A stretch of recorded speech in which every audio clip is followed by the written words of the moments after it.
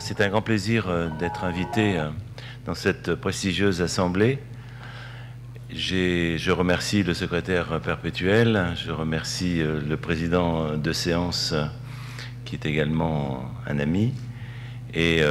chers collègues. J'ai été invité il y a, c'était en 1987, dans la même assemblée, avec des personnes, quelques-unes étaient présentes, d'autres différentes, où il y avait une discussion euh, justement avec toutes les religions d'ailleurs qui étaient représentées. C'était Agadir sur euh, l'impact, où nous étions à la fin du siècle dernier, l'impact donc de l'idéologie des religions sur le développement euh, des sciences et vice-versa, bien entendu. Mon propos aujourd'hui est d'essayer de refaire un petit peu l'historique de ces 40 dernières années dans le domaine de la reproduction, et de voir euh, les problèmes à venir qui se posent et qui ne manquent pas euh, de créer un certain nombre euh, de problèmes, bien entendu. Tout d'abord, l'annonce, l'annonce de la grossesse dans ce tableau de Botticelli, comme dans beaucoup d'annonciations. Vous voyez ce mouvement un petit peu particulier de la Vierge qui, en même temps, reçoit ce cadeau et en même temps à une certaine crainte. Le mouvement des mains euh, montre un peu cette euh, angoisse que l'on retrouve chez nos patientes avec cette euh, joie et cette crainte de certaines anomalies. Nous avons évoqué les problèmes génétiques ce matin et hier. Et c'est vrai que la femme enceinte se pose souvent trois questions. Est-ce que mon enfant va être normal? Est-ce que je vais accoucher normalement? Et est-ce que je serai capable d'être mère? C'est donc toujours un mélange quand nous annonçons non pas à la façon d'un ange, mais pour les obstétriciens ou les gynécologues, souvent sur un taux d'HCG, nous allons annoncer la grossesse qui semble un peu irréelle, puisqu'à peine quelques unités d'HCG suffisent pour déclarer qu'il y a une grossesse, qu'il y a une promesse de vie en tous les cas.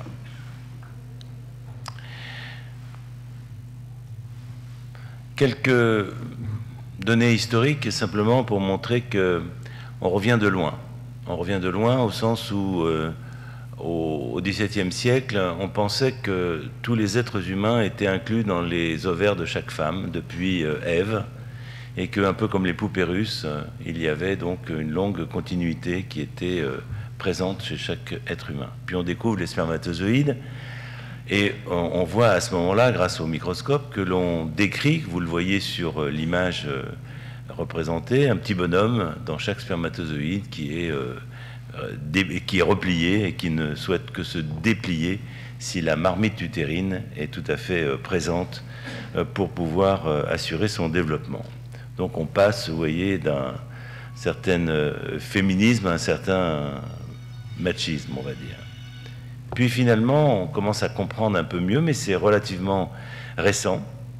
le mécanisme de la fécondation. Un seul spermatozoïde, même si en fait il y en a plusieurs autour, un seul, comme vous le savez, va pénétrer. Il y a un phénomène assez étonnant de, pont-levis qui fait que les autres ne peuvent plus pénétrer dès qu'un seul est rentré avec ses 23 chromosomes. Il va rencontrer les 23 chromosomes de l'ovocyte. La date de 1978 est importante, elle marque euh, incontestablement une certaine transgression par rapport à ce qui était connu, ce qui était réalisé, puisque pour la première fois, donc, la rencontre entre un gamète masculin et un gamète féminin va se faire à l'extérieur du corps de la femme,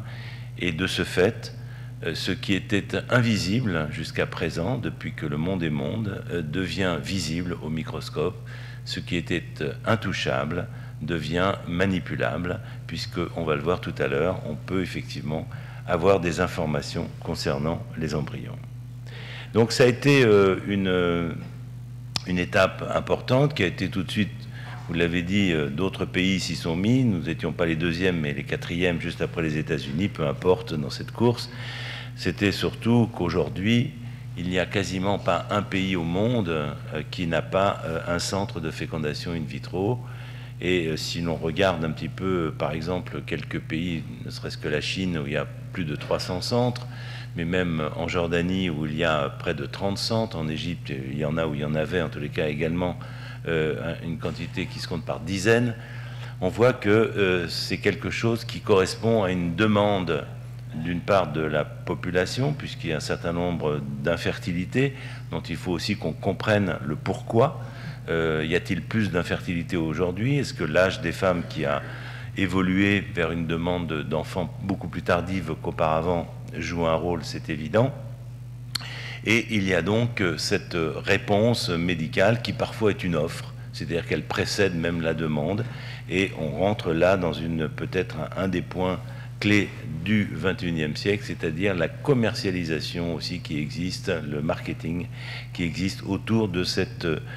technique qui est partie au, euh, à la fin du siècle dernier sur des situations extrêmement précises. Quelles étaient les situations précises? C'était les femmes qui avaient des infections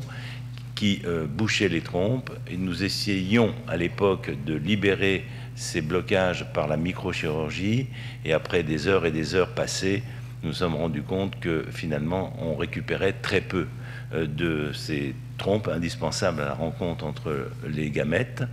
Et donc, euh, court-circuiter les trompes devenait euh, une possibilité qui avait été lancée depuis les années 65 par l'équipe ici représentée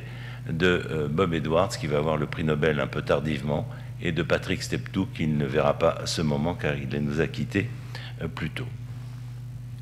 Quelques étapes intéressantes, c'est euh, celle euh, en Australie en 83 où on s'aperçoit que finalement un ovocyte euh, d'une autre femme peut être transféré dans l'utérus d'une femme qui n'a par exemple plus de plus de plus d'ovaires et que s'il est fécondé bien entendu donc il est donné il va pouvoir s'implanter sur le plan strictement médical c'est déjà quelque chose d'assez étonnant parce qu'on savait qu'il y avait un rejet qui pouvait se faire dans certaines circonstances. On pouvait présumer que finalement, c'est une exception que euh, l'œuf dont la moitié est masculine, donc différente de la personne qui va le porter, euh, déjà, il y a une tolérance immunologique particulière du début de la grossesse, sauf quand il y a des maladies abortives, comme vous le savez mais que là, si l'ensemble de l'embryon provenait de personnes différentes, il y aurait un rejet. Il a fallu constater qu'il n'y avait pas de rejet. Et donc ce don d'ovocytes qui a été initié donc en 83 s'est diffusé par la suite jusqu'à devenir aujourd'hui pour les pays qui acceptent le principe bien sûr avec des modalités qui sont variables des possibilités de répondre à des demandes parfois supraphysiologiques, puisque même lorsqu'une femme n'a dépassé l'âge de la physiologie, elle peut bénéficier d'un don d'ovocytes. L'utérus, lui, n'a pas d'âge et il peut donc recevoir un, un, embryon beaucoup plus tardivement, ce qui n'est pas sans poser un certain nombre de questions. L'année d'après, toujours euh, en Australie, c'est euh, la naissance du premier euh, enfant après congélation embryonnaire avec l'équipe de Thompson. Et donc là, on va intervenir aussi sur une notion capitale qui est celle de bloquer le temps, puisqu'on va pouvoir attendre des années avant de réimplanter un embryon qui va résister assez bien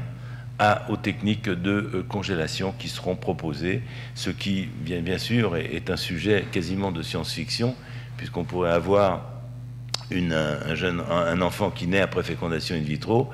ayant eu euh, neuf mois auparavant d'autres embryons, la femme les a conservés, et cette jeune fille qui est née donc 20 ans plus tard pourrait porter les embryons qui seraient la cohorte de ses frères et sœurs. Je vous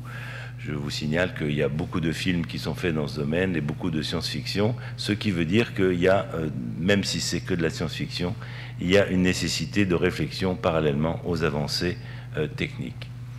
En 1992, c'est la première naissance après XI, et là on sort de la stérilité euh, féminine qui déjà de cette indication spécifique des trompes bouchées commençait à s'élargir sur toutes les autres affections qui pouvaient impacter la fertilité, c'est-à-dire l'endométriose, c'est-à-dire les troubles de l'ovulation, voire des stérilités dites idiopathiques parce qu'on on ne trouve pas d'explication dans 15% euh, des cas. Et puis euh, la possibilité de traiter ce qui était mis un peu sous le boisseau, c'est-à-dire la stérilité masculine. Euh, voire une faiblesse du nombre, de la mobilité,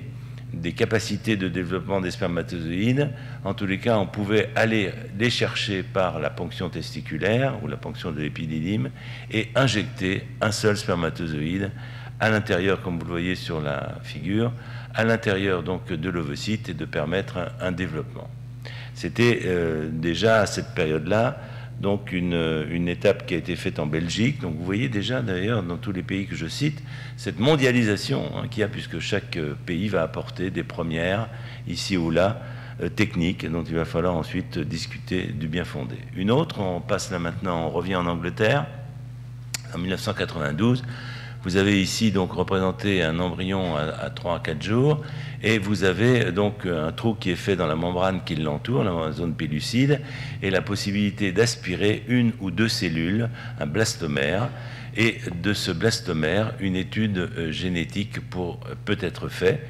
Euh, et alors que l'embryon, lui, va continuer à se développer, on va le mettre dans l'utérus et il va donner naissance à un enfant qui ne pèsera pas moins qu'un autre et qui n'a pas d'autres troubles, même si une ou deux cellules lui ont été enlevées. Alors, c'est bien sûr une, technique révolutionnaire qui a permis, en tous les cas, de s'adresser à deux groupes euh, de, de, couples. Euh, certains qui euh, ont déjà un enfant donc ne sont pas infertiles, mais un enfant qui a un problème génétique, et à partir de lui, on remonte sur le diagnostic génétique dont on a parlé ce matin ou hier, et on s'aperçoit effectivement que, puisqu'on sait qu'il y a une répartition de cette maladie génétique au hasard, on peut, sur les embryons obtenus in vitro, faire cette analyse et donc savoir ceux qui vont développer cette maladie génétique et ceux qui ne vont pas la développer. Ils vont peut-être pas s'implanter, mais en tous les cas, on va pouvoir transférer dans l'utérus ceux qui sont indemnes de la maladie ou porteurs sains, puisque euh, cela est également euh, recommandé de pouvoir euh, transférer ces embryons. Ça, c'est en cas de maladie, de, trouble d'un gène, maladie monogénique, que l'on peut donc diagnostiquer aujourd'hui. On va voir que demain, et ça a déjà été abordé par Claude Rizelli, il y a peut-être d'autres possibilités plus vastes qui poseront d'autres problèmes, qui est celui de l'analyse du génome. Mais pour l'instant, nous sommes sur un cadre, en particulier en France, qui est parfaitement défini, qui est celui de maladies graves et, euh, et non, qui n'a pas de traitement, avec la possibilité donc de, de, faire un choix sur les embryons qui sont euh, présents. En sachant aussi qu'en France, nous sommes, comme vous le savez sans doute, dans une législation qui, une fois que l'embryon est implanté, permet aussi à la femme de faire une analyse, euh, soit d'un calcul de risque, soit une analyse de diagnostic, soit un dépistage, soit un diagnostic, qui permet de savoir et de prendre une décision en fonction du résultat lorsqu'il y a un doute révélé par l'échographie, par l'histoire, etc. Ça, c'est le groupe, le premier groupe avec des pathologies donc génétiques monogéniques. Et puis, il y a une autre, une autre situation que l'on rencontre souvent dans les centres de... Donc, ces couples-là ne sont pas infertiles, ils sont fertiles au contraire, mais il y a un risque de transmission génétique. Et puis, il y a les couples qui, eux, euh, sont infertiles, et on s'aperçoit en particulier que c'est l'homme qui a une oligosténotératospermie, très peu de spermatozoïdes, voire une azoospermie, et qui, euh, alors, euh, se trouve dans 5 à 10% des cas être porteur d'une translocation. Et c'est par l'analyse donc chromosomique que l'on va connaître ces translocations. Et donc, du coup, on sait que la plupart des embryons vont pouvoir euh, être euh, atteints euh, par la mauvaise répartition de cette translocation, mais certains seront sains. Donc, la nécessité chez ces couples infertiles qui portent une translocation de faire cette analyse génétique si on veut éviter la partie ombre du hasard. Alors, cette euh, analyse au niveau euh, des embryons s'est développée euh, dans le monde, d'une part parce que, comme l'a dit Hervé Schneeweiss hier, finalement, lorsqu'on donne un traitement de stimulation de l'ovulation et qu'on a un certain nombre d'embryons au laboratoire, on sait que près de 70 à 80% des embryons ne vont pas s'implanter. Ils ont pour la plupart des anomalies génétiques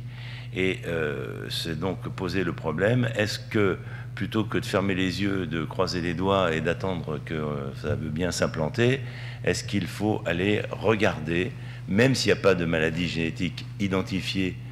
dans la famille, est-ce qu'il ne faut pas regarder embryon par embryon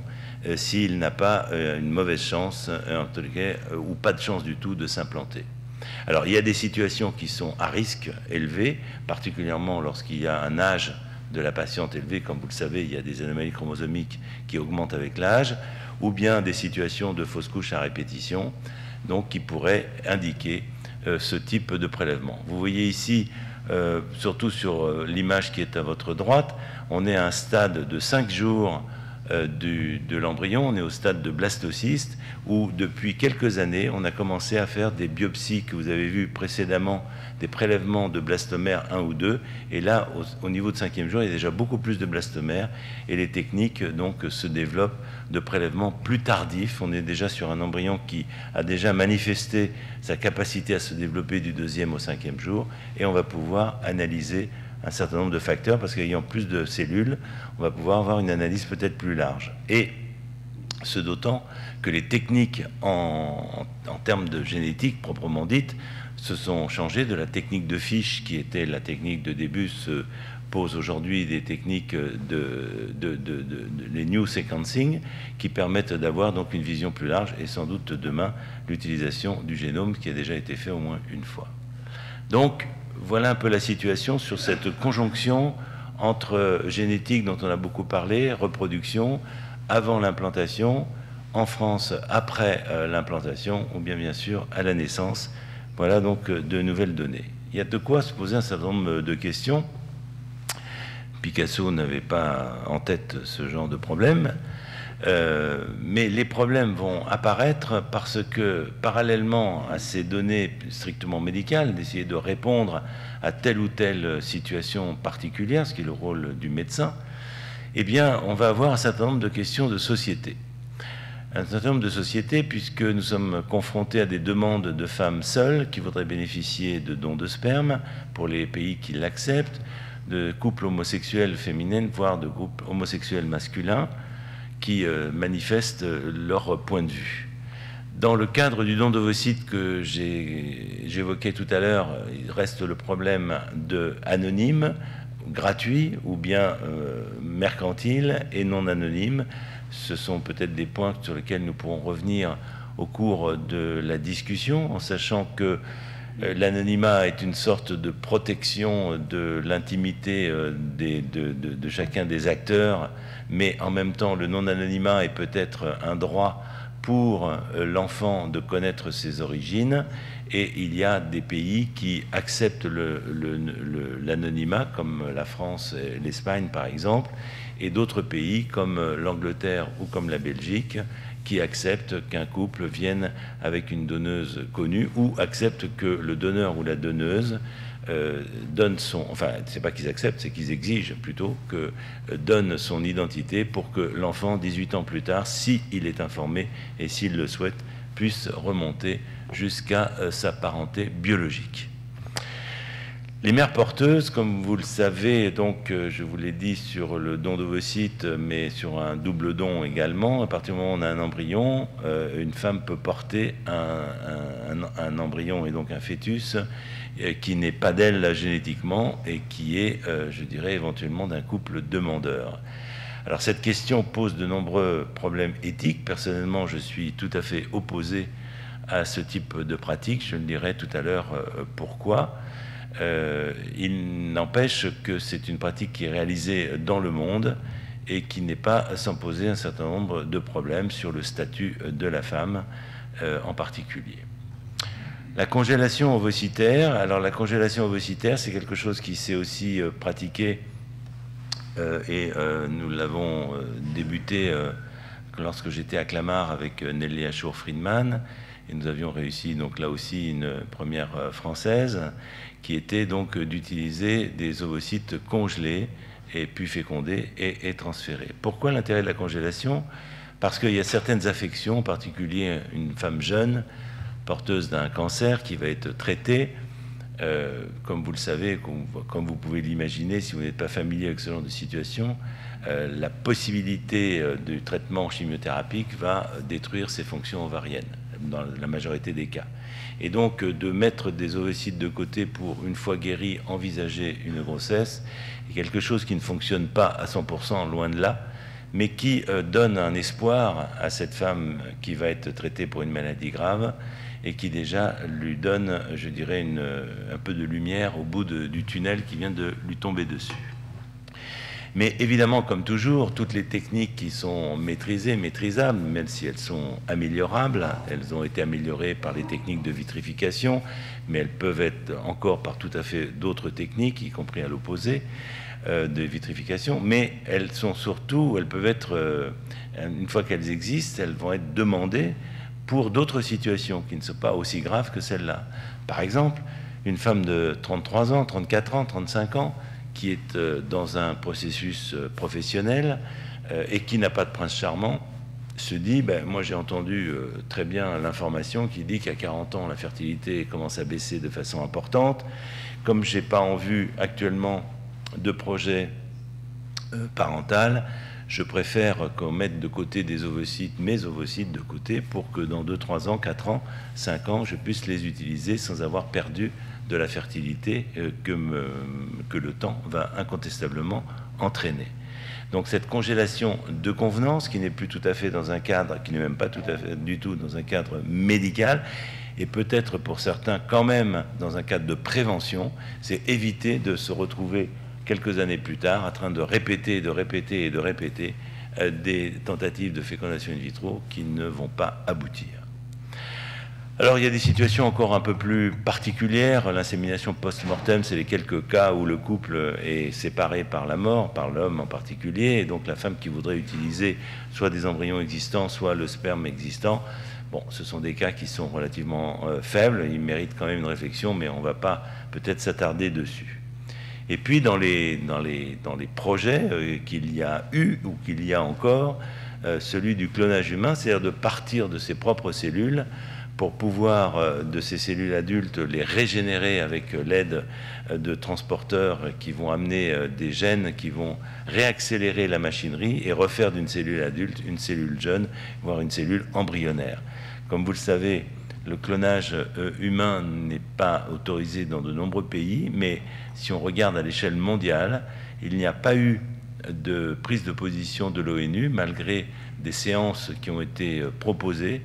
en particulier, j'avais été euh, dans la délégation française qui proposait avec euh, l'Allemagne à l'ONU de voter contre le clonage euh, humain. Ceci n'a pas été possible parce qu'il y avait d'une part une frange de pays menés par les États-Unis et par le Vatican qui voulaient tout condamner, du clonage jusqu'à jusqu'à la, procréation, toute procréation médicalement assistée et même toute contraception il y avait au contraire d'autres qui voulaient euh, se laisser euh, la possibilité de voir venir ce qui allait être euh, vraiment destructeur ou pas, puisqu'on évoquait beaucoup de complications chez l'animal des enfants qui enfin des enfants pardon des animaux qui naissaient après le clonage, quelle allait être la situation chez les enfants. Donc un certain nombre de questions, mais quoi qu'il en soit, à l'heure d'aujourd'hui, dix ans après cette première réunion de l'ONU, il n'y a toujours pas de condamnation officielle euh, de, de, l'ONU à, ce chiffre. Alors bien sûr, la création euh, d'un être humain est quelque chose qui euh, a hanté depuis le golem ou depuis à partir de la terre, de la glaise, depuis Frankenstein, à partir de réassemblage de différentes parties du corps. Il y a toujours eu donc une volonté comme ça de, dans, les, dans les romans, dans les science-fiction, de créer de la vie et, et du vivant. Euh, le problème, euh, je le disais donc, c'est que euh, l'âge est pour la femme en particulier quelque chose de redoutable. Et premièrement, il faut le faire savoir dans les sociétés en particulier où, comme je le disais, l'âge du premier enfant est actuellement à 30-31 ans dans la région parisienne, même 32 ans. Et donc, il y a, ça va très vite avec les recompositions, les divorces, la demande d'enfants à un âge où la fertilité baisse va être très rapide. Il y a donc une action de prévention euh, qui n'est peut-être pas aussi bien faite qu'elle devrait l'être, alors que les femmes reçoivent des informations souvent sur euh, la nécessité de faire une mammographie, la nécessité de faire des frottis régulièrement. hommes ou femmes recevant à partir de 50 ans l'information qu'il faut rechercher le cancer du côlon, il n'y a pas encore, de façon institutionnelle, une information radicale pour informer les femmes que la fertilité baisse avec l'âge. C'est aussi simple, mais c'est vrai, c'est tellement vrai, et nous sommes tellement confrontés à cela.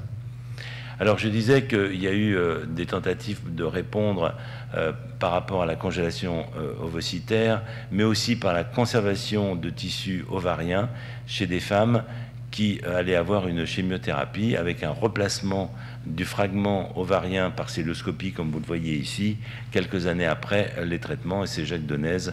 en, Belgique qui a lancé cette, cette histoire. La congélation d'ovocytes, je vous en ai déjà dit un mot, euh, donc euh, je passe euh, là-dessus actuellement. Et donc avec cette question, est-ce que les sociétés vont, alors qu'il n'y a pas encore de problème de fertilité proprement dit, mais qu'il y a une prévention par rapport à la baisse de la fertilité, vont accepter ou non qu'une femme puisse congeler ses ovocytes pour une fécondation ultérieure, en sachant que l'homme en France, en tous les cas, si on prescrit, si on fait une ordonnance pour congeler du sperme, il n'y a pas d'interdiction de le faire. Il y a donc là quelque chose qui n'est pas euh, égalitaire, en tous les cas, pour l'instant. Euh, mais dans beaucoup de pays, cela a évolué, même, en Italie, euh, qui avait, comme vous le savez, une position assez, rigoureuse. Eh bien, les choses donc bougent. Alors, la mère biologique, effectivement, un enfant donc, peut avoir trois mères et deux pères une mère qui fournit les ovocytes, une qui porte euh, l'utérus et l'autre qui va l'élever, un père qui donne des spermatozoïdes et un père qui va élever euh, l'enfant. Donc euh, dans cette société qui bouge, les possibilités techniques, je viens d'en parler, et puis aussi les recompositions des couples qui se séparent, qui se, qui se rejoignent ultérieurement mais différemment, créent des familles composées, décomposées, et avec donc un risque de de, perte un petit peu de savoir euh, où on est, où on va. Alors, l'utérus artificiel est quelque chose qui avait été évoqué dans un très beau livre d'Henri Atlan, philosophe, euh, qui montre que, après tout, euh, si on reste six jours au laboratoire et qu'un enfant qui peut naître à partir de 22-24 semaines peut aussi être dans une couveuse, est-ce que finalement on ne va pas faire la jonction entre cette première semaine et la 22e ou 23e pour avoir un développement euh, dans, euh, tout à fait artificiel? Ça pose des problèmes médicaux majeurs. Le fond du problème, à mes yeux en tous les cas, c'est que j'en vois pas la nécessité et surtout le fait que, euh, comme on le sait, comme les réanimateurs néonatologistes nous l'ont expliqué, il faut être très présentes, les parents sont présents par la voix, par le toucher, par leur présence au cours du développement d'un enfant. Et donc, je ne vois pas très bien passer neuf mois en train de caresser à l'intérieur euh, de la couveuse. Quelque chose qui euh, aussi mérite une réflexion, une réflexion, c'est euh, le projet de transplantation utérine. Comme tout organe, l'utérus peut être transplanté, peut être greffé, et si plusieurs essais, euh, deux essais, l'un en Turquie, l'un en Arabie Saoudite, ont été pratiqués dans les années 2003-2005 sans succès, le projet de l'équipe euh, suédoise, euh, qui a concerné dix, femmes, hein, c'était un protocole, deux échecs de greffe utérine, donc quand même important. Sur les neuf, sur les, oui, il y a eu neuf femmes qui ont été retenues, donc deux échecs. Sept euh, femmes qui ont bénéficié d'un transfert d'embryon. Il y a eu depuis un an cinq naissances et une grossesse qui est en cours et des embryons qui restent en attente.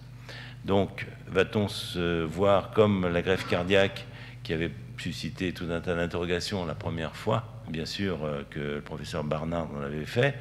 est-ce qu'on va voir se développer euh, ces techniques de transplantation utérine pour soit des maladies génétiques comme le Rokitansky par exemple, où les, petites filles naissent sans utérus mais avec des ovaires, ou d'autres situations où il faudrait pouvoir remplacer cet organe. Quelle serait la forme, l'encadrement, quels seraient, euh, je dirais, les risques aussi euh, qui pourraient exister,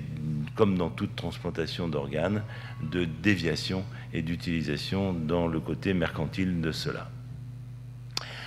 Euh, les gamètes artificielles, alors euh, c'est effectivement quelque chose qui peut aussi venir assez rapidement, en tout cas du côté spermatozoïde.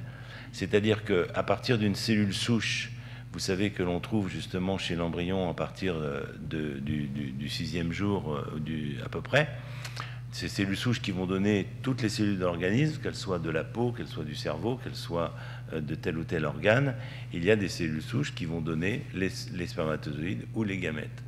euh, en général, ou les ovocytes. Et donc euh, l'idée d'avoir des cellules souches qui se cultivent actuellement, comme vous le savez, pour les traitements, différents traitements, on ne l'a pas évoqué, mais par exemple dans la, DMLA, il y a des essais thérapeutiques qui sont menés actuellement avec des cellules souches qui sont obtenues au laboratoire, donc avec des cellules souches où il y a 3-4 essais cliniques qui sont actuellement faits, humaines, j'entends,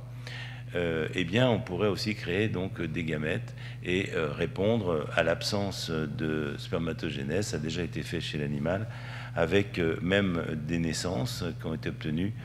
chez les petits rongeurs, avec beaucoup de casse, comme c'est le cas dans le cas du clonage, mais avec aussi une reproduction de la génération ultérieure et en particulier sont nos collègues euh, japonais qui avaient euh, débuté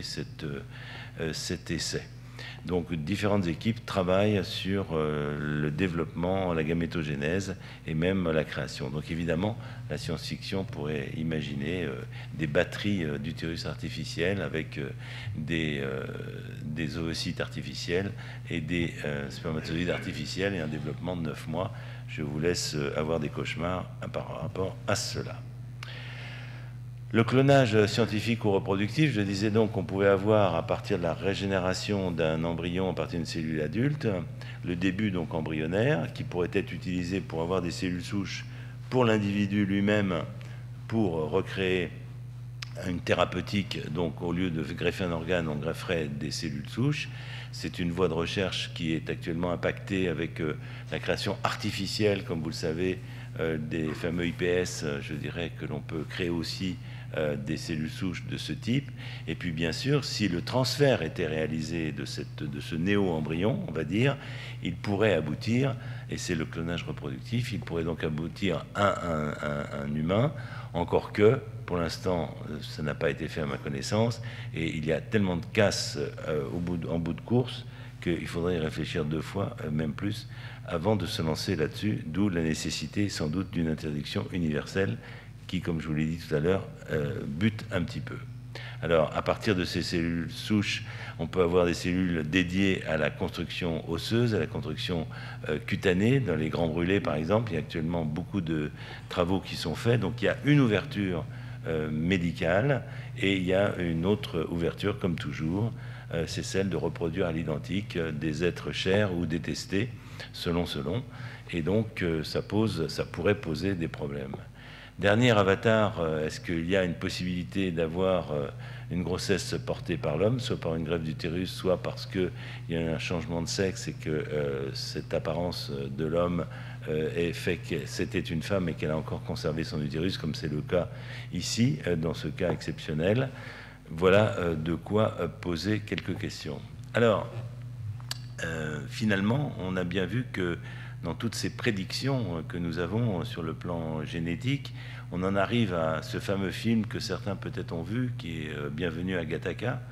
où euh, lorsque l'enfant naît, à peine il est né, on le met sur le ventre de la mère et on a déjà fait un prélèvement, et en même temps qu'on le met sur le ventre de la mère, on dit ben il va faire euh, voilà c'est un garçon il pèse tant mais il va faire euh, un diabète à 40 ans une telle maladie à, 50 ans. Et, voilà on est donc là dans une espèce de euh, l'enfant n'est déjà projeté comme un adulte au moment même de la naissance.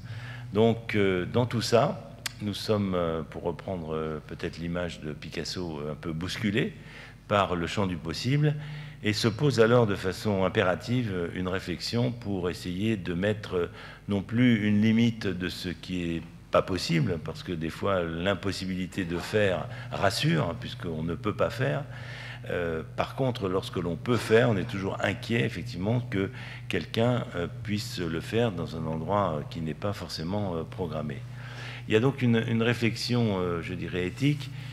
Et la première, c'est peut-être euh, de, en même temps euh, de ne pas bloquer la connaissance et le progrès qui permet de connaître mieux tel ou tel mécanisme, mais de l'autre côté, euh, peut-être avoir une, une, ligne rouge à ne pas dépasser.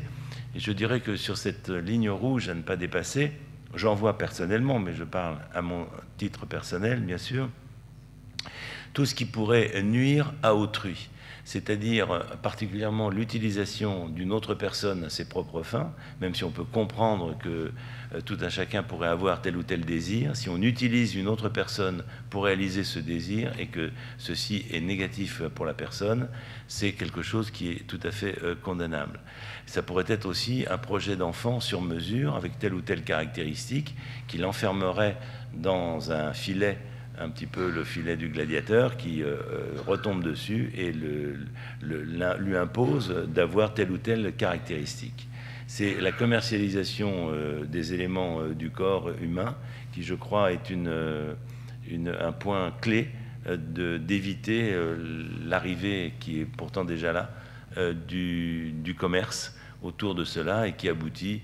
très vraisemblablement à des possibilités importantes d'aliénation de l'autre. Or, le respect de l'autre, c'est aussi le respect d'une société, du vivre ensemble, d'accepter les différences, y compris les différences qui sont parfois médicales, et de ne pas vouloir projeter euh, ce qui pourrait être un projet euh, d'enfant parfait qui n'existe pas, puisque comme cela a été dit, nous sommes tous porteurs d'un certain nombre euh, d'anomalies qui s'expriment ou s'expriment pas, qui s'exprimeront peut-être, mais en tous les cas, euh, le, mythe de l'homme parfait euh, créé est une utopie. Encore faut-il, par rapport à cela, donc d'un côté,